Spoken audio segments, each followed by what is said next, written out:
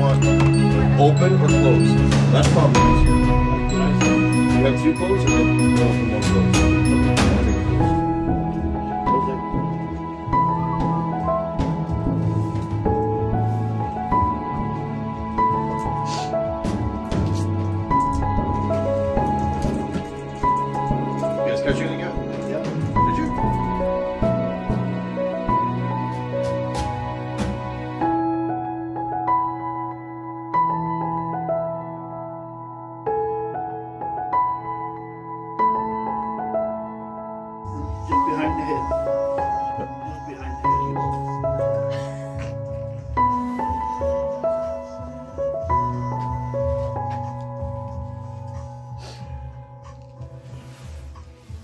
so cute.